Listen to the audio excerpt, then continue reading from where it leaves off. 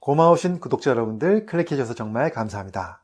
오늘은 오메가3를 고를 때 많은 분들이 고민하시는 사항 중 하나 말씀을 드리려고 하는데요. 제가 오메가3에 대한 영상을 여러 번 올려드렸는데요. 그때마다 많은 질문들을 주십니다. 그 질문들 중에서 오메가3 제품을 고를 때 다른 성분들이 같이 섞여 있는 제품을 골라도 되느냐는 질문을 주시는 분들이 있으셨는데요. 즉, 오메가3 단독 제품도 있지만 요즘에는 이 오메가3와 같이 먹으면 좋을 만한 다른 영양소들이 같이 섞여서 나온 것들도 있는데요. 이런 것을 골라도 되는 건지 질문을 주신 것 같습니다. 오늘은 그 질문에 대한 저희 답변과 함께 또 오메가3와 함께 먹으면 좋은 영양소들까지 말씀을 드리고 또 그런 제품을 고르실 때 주의할 점까지 말씀을 드려보도록 하겠습니다. 궁금하시면 끝까지 봐주시고요. 도움이 되셨다면 좋아요, 구독, 알림 설정까지 해주시면 정말로 감사하겠습니다.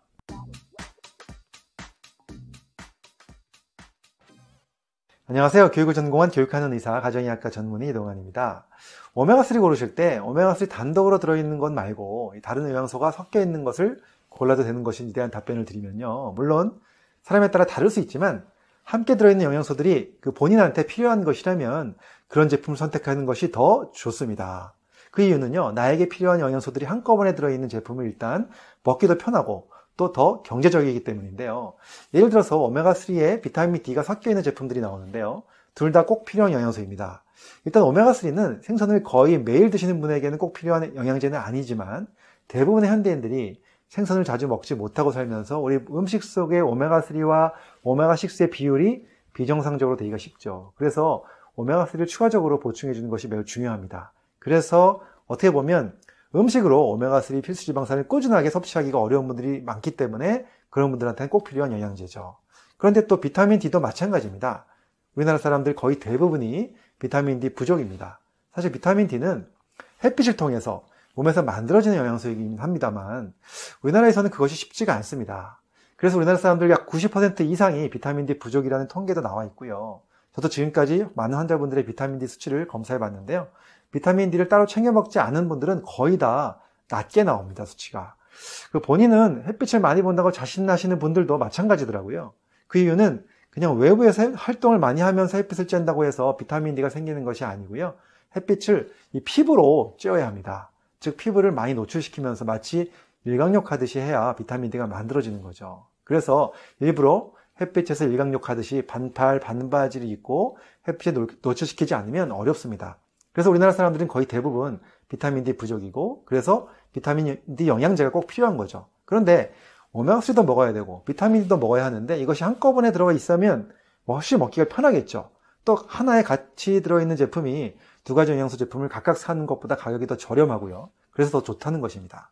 그리고 추가적으로요, 오메가3와 함께 섭취하면 좋은 영양소들을 소개해드리면요. 일단 앞에서 설명드린 비타민 D 이외에도 또 다른 영양소 중에서 하나가 바로 아스타잔틴이라는 영양소가 있는데요. 이것도 오메가3와 함께 들어있는 제품들이 나오고 있는데요. 이것도 함께 드시면 아주 좋습니다. 사실 이 아스타잔틴이 오메가3 3패를 막아준다고 해서 이 방패 오메가라는 별명을 가지고 있거든요. 그래서 이 아스타잔틴은 아주 강력한 항산화 물질입니다. 이 물질은 깊은 바닷속의 어류나 갑각류와 같은 수생동물에서 나오는 성분인데요. 그 새우나 게를 익히면 껍데기가 빨갛게 변하게 되죠. 그 붉은색이 바로 아스타잔틴이라고 하는 강력한 항산화 물질입니다. 또 아스타잔틴의 여러 가지 기능 중에서요. 우리나라 식약처에서 인증해준 기능이 있는데요. 그것이 바로 눈의 피로를 개선하는 겁니다. 오메가3의 기능성 중에서도 눈 건강에 도움이 되는 기능이 있기 때문에 오메가3에 아스타잔틴이 함께 들어있으면 눈 건강과 눈의 피로 개선이 함께 되면서 더 좋겠죠. 그런데 이렇게 섞여 있는 여러 제품들 중 어떤 것을 선택하시더라도 꼭 따져봐야 할 것이 있는데요. 오메가3는 지난번에 제가 다른 영상에서 말씀드린 적이 있습니다. RTG 오메가인지 확인하셔야 되고요. 그리고 또 하루 용량이 EPDH 합으로서 1000mg 이상인지 확인하시고요. 또 3패를 막아줄 수 있는 항산패 오메가인지 확인을 하셔야 됩니다. 그 다음 비타민 D가 섞여 있는 제품이라면 비타민 D 용량도 한번 또 따져보셔야 되는데요. 보통 하루 먹는 용량이 1000에서 2000 IU 정도는 되어야 합니다. 그 다음에 아스타잔틴이 섞여 있다면 그 성분도 얼마나 들어있는지 확인을 하셔야 되는데요. 보통 제품에 아스타잔틴이라고 되어 있지만 성분으로는 헤마토코쿠스 추출물이라고 되어 있기도 합니다. 즉, 이 헤마토코쿠스 추출물이라고 되어 있는 것을 적혀 있는지 확인하시고 또 하루 용량이 아스타잔틴으로서 최소한 4mg 이상이 되어야 그 기능성을 가진다고 볼 수가 있습니다. 그래서 그 용량도 꼭 확인하시면 좋겠습니다.